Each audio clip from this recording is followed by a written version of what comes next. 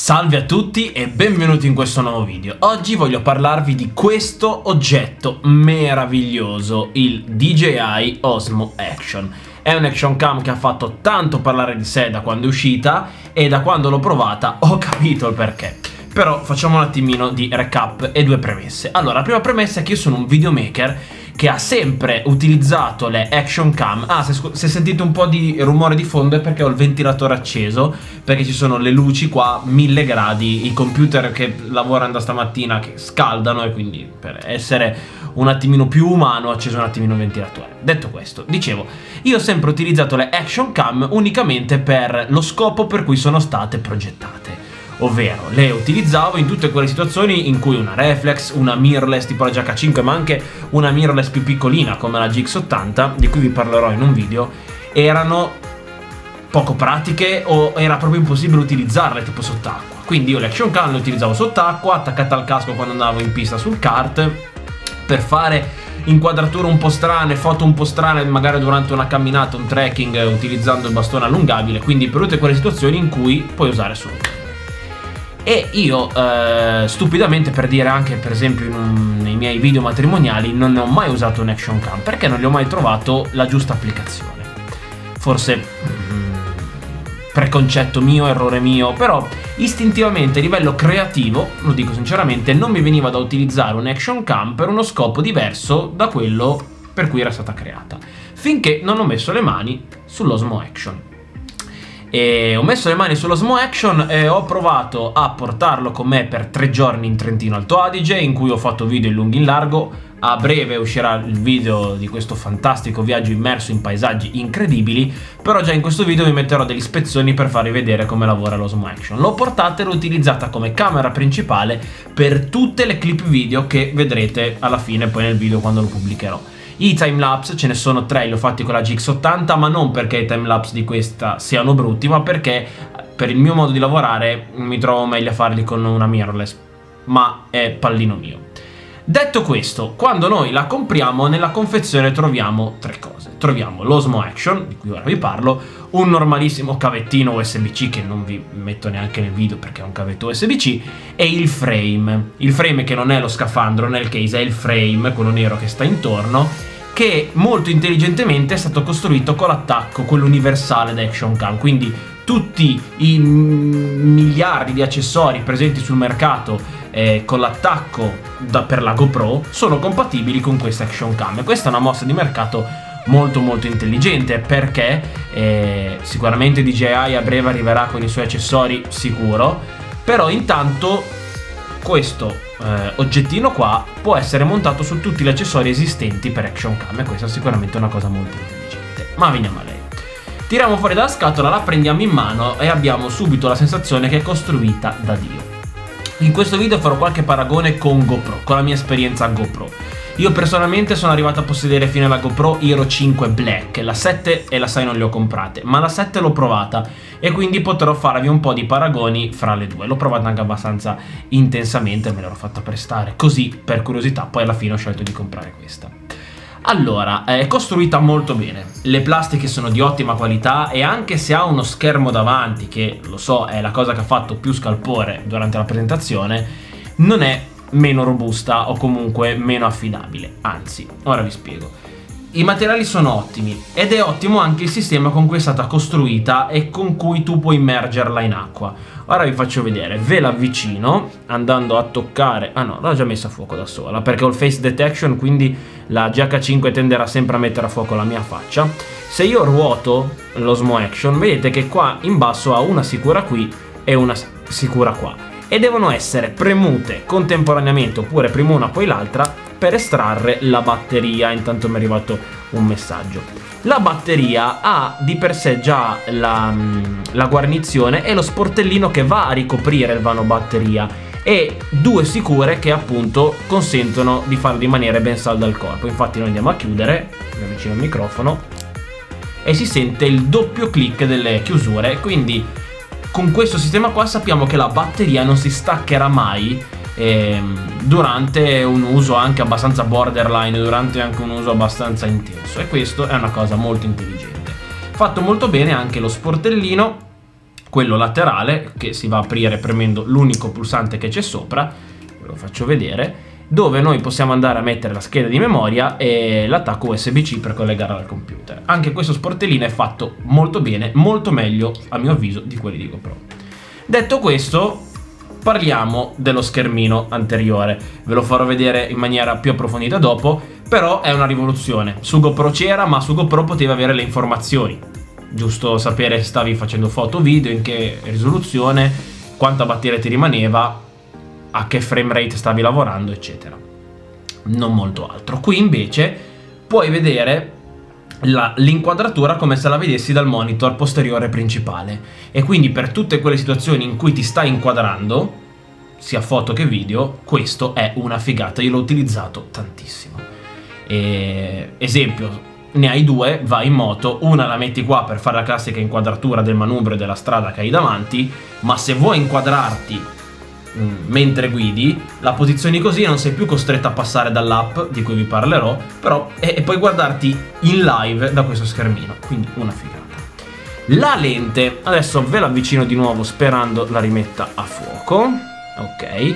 La lente qua davanti è un coprilente perché se io lo vado a svitare, faccio vedere tutto proprio in presa diretta, troviamo la lente vera e propria e questo qua è una sorta di paralente, di, di coprilente normalissimo. Però il fatto che si possa svitare così facilmente ha fatto pensare un po' tutti, e ci sono anche dei rumors, che arriveranno questi ma a mo' di filtri ND o di filtri polarizzatori. In questo modo potremo utilizzarli in maniera più creativa utilizzando i filtri che siamo abituati a usare sulle nostre reflex e mirrorless e questa è sicuramente una cosa molto figa, fighissima. Detto questo, come funziona? Allora, le funzioni che ci sono al suo interno sono quelle che ci sono in tutte le action cam di fascia alta. Ormai non è che ci si possa inventare chissà che cosa. C'è la registrazione dei timelapse, dove non vi faccio neanche vedere, cioè vai a selezionare il numero di scatti che vuoi fare e l'intervallo di tempo fra uno e l'altro. La e B, che per non far durare questo video 20 anni, in breve è una sorta di bracketing, vi scatta dei, delle foto in JPEG a um, esposizioni differenti, così voi potete unirle e fare un HDR, diciamo.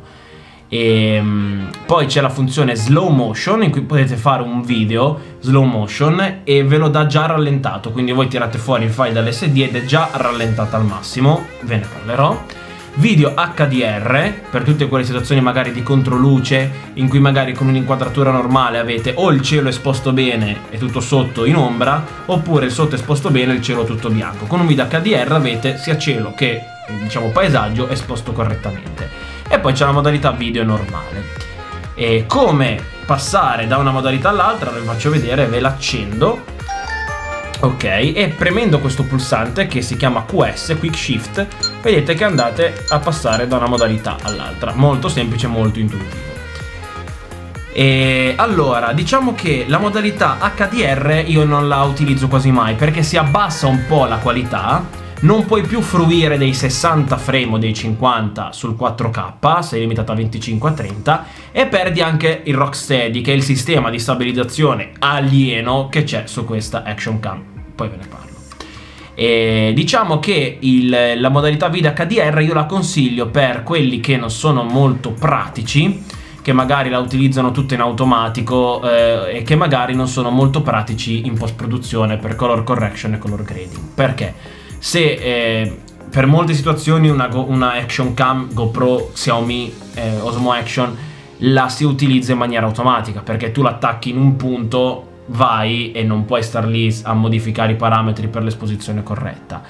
E anche perché l'esposizione automatica funziona molto molto bene anche al buio. Però se hai un po' di dimestichezza in post produzione eh, anche un video registrato in maniera normale, normale, non HDR, hai comunque facoltà di recuperare le luci e le ombre in maniera molto molto efficiente di conseguenza per uno che ha quelle competenze da videomaker, eh, sia che lo faccia per lavoro, sia che lo faccia per hobby, ma lo faccia per bene, il video HDR diventa inutile, perché poi tanto luce e ombra le riesce a recuperare con ottimi risultati in post-produzione.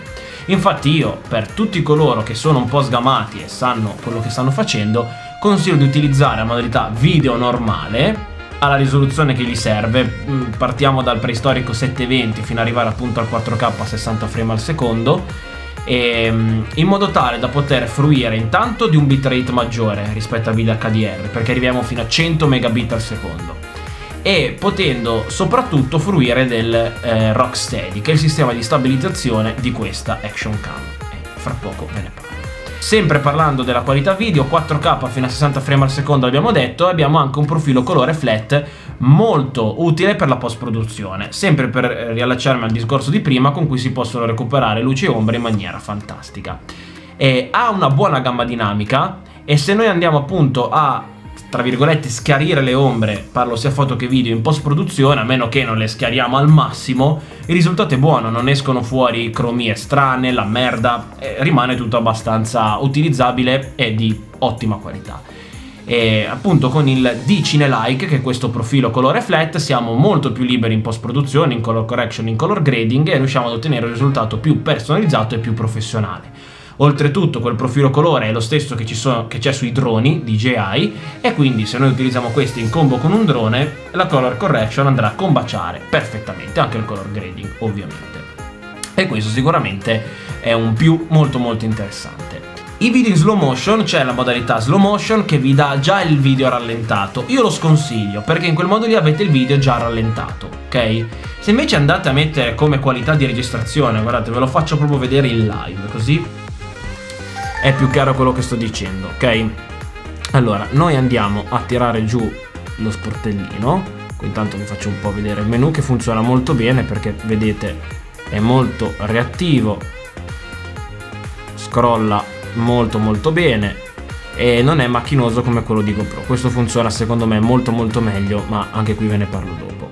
Andando a fare uno swipe up si apre tutto il discorso, aspettate che vi metto a fuoco, riguardante la qualità video. Vedete, voi potete andare su 1080 e impostare sotto i 240 frame al secondo, ok? Anziché andare ad utilizzare la modalità slow motion, perché vedete io ero in modalità video, non sono andato in slow motion. In questo modo voi avete un file a 1080p a 240 frame al secondo eh, che potete utilizzare a qualsiasi velocità perché se voi andate nella modalità slow motion ve lo dà già rallentato qui potete fare quello che pare a voi nel senso potete sia eh, tenere il video a velocità normale a velocità dimezzata 2x 4x 8x siete un po' più liberi avete un file più mm, versatile e questo è il mio, il mio consiglio il sistema di stabilizzazione. Il sistema di stabilizzazione è qualcosa di alieno. È veramente incredibile. Incredibile sotto ogni punto di vista tutte le clip che io ho girato in Trentino sono state girate o con l'Osmo Action in mano, così, o su un hand grip, cioè su un... tipo usare il Gorilla Pod. Io avevo il cavalletto che sta sotto la... la GH5 che è il, il Manfrotto Pixie, quello piccolino. Io ce l'avevo montato qua sotto e lo utilizzavo da hand grip.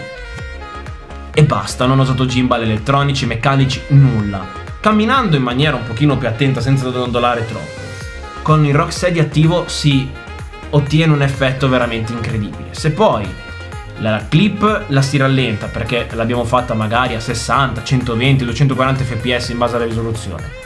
E, ah, no, sul 1080p a 240 frame al secondo il Rocksteady non è attivabile, quindi sul super super slow motion il Rocksteady non c'è, ma a 240 frame al secondo puoi rallentare talmente tanto che tutte le riprese sembrano fluide. Però esempio, io l'ho utilizzata quasi sempre in 4K a 60 frame al secondo, rallentavo del 50% la clip, con l'effetto del Rocksteady e magari mettendoci anche una stabilizzazione imposta con Premiere, con il Warp Stabilizer, il risultato era qualcosa di incredibile. Ma non solo camminando avanti o indietro, anche nei pan, nei tilt, ehm, nei movimenti magari circolari di macchina, tutti i movimenti di macchina, anche quelli teoricamente più complessi, venivano letti dal, dal sistema di stabilizzazione in maniera eccellente e stabilizzati in maniera perfetta. E questo in ottica viaggio secondo me è qualcosa di fantastico, perché io nello zaino ho fatto a meno di mettere lo stabilizzatore, di cui vi ho parlato sul canale che avevo per la GoPro. Ho fatto tutto a mano libera. È boh, qualcosa di magico. Già l'hypersmooth della Hero 7 Black era già qualcosa di incredibile, ma questo, secondo me, sempre telefono che suona, lavora in una maniera pazzesca veramente. Io pensavo che 4K a 60 frame al secondo con lo stabilizzatore attivo la batteria... Invece, io comunque faccio clip brevi, 10-15 secondi al massimo, mi è durata due giorni. Il primo giorno ho fatto Lago di Tovere, Lago di Braies, il secondo giorno Cime di Lavaredo e l'ho utilizzata per due giorni Ora, complessivamente, partendo da 100% arrivando a 0, non so effettivamente quanto duri la batteria. Però io l'ho utilizzata per tutte le clip di viaggio il primo e il secondo giorno ed era a posto. L'ho ricaricata solo per il terzo, quindi un'autonomia ottima. Non l'ho immersa in acqua, però da come è costruita secondo me è estremamente affidabile. L'audio è buono, ovviamente non è un audio come quello del Rode VideoMic Pro, però se dovete vloggarci un attimino utilizzando anche lo schermino qua, va benissimo. Schermino qua come si attiva? Allora, noi l'accendiamo, ci sono questi suoni che ti vanno a dire, questo è lo schermino che si usa, si è sempre usato, quello posteriore che sta inquadrando me, Tengo premuto il tasto Quick Shift, che è questo qua, quello che ci... che tenendolo premuto poco ci fa switchare in modalità.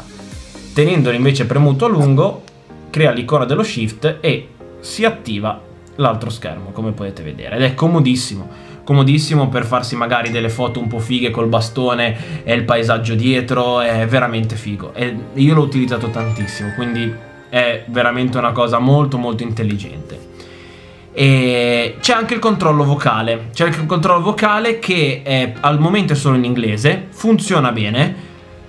Io l'ho provato, ma non ve ne parlo a lungo perché io ehm, non è una cosa che utilizzo. Il controllo vocale non l'ho mai utilizzato neanche su GoPro. Non è una cosa che fa parte del mio metodo di lavoro, del mio metodo di ripresa. Non uso mai il controllo vocale anche perché mi trovo sempre in situazioni in cui non mi serve. Però c'è, funziona attualmente solo in inglese. L'unica pecca è che non c'è tra virgolette, una parola d'ordine, no? Non c'è un Ehi Siri, ok, Google, non c'è niente di tutto ciò, no? Non c'è tipo Ehi Osmo, scatta una foto.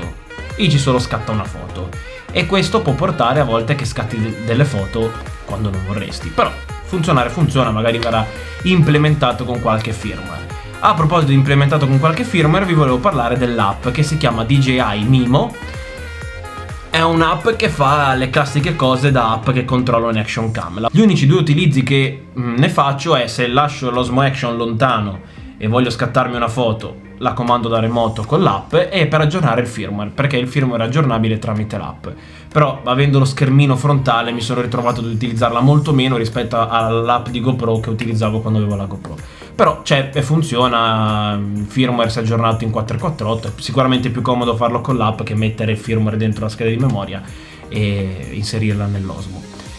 È un corpo macchina veramente incredibile che mi ha fatto riscoprire questo lato quasi documentaristico dell'action cam e mi è piaciuto tantissimo perché non ho dovuto sbattermi più di tanto perché è veramente un corpo macchina che lavora molto bene di suo, espone bene, stabilizza da Dio. Io avevo solamente l'idea dell'inquadratura e la facevo. Ed è un, um, un, grosso vantaggio se si viaggia, se si devono vedere tante cose, si ha poco tempo. Quindi veramente è un acquisto che per tutte le persone che viaggiano e vogliono viaggiare il più leggeri possibile senza rinunciare alla qualità, io lo consiglio proprio così a mani basse perché è veramente fatta molto molto bene.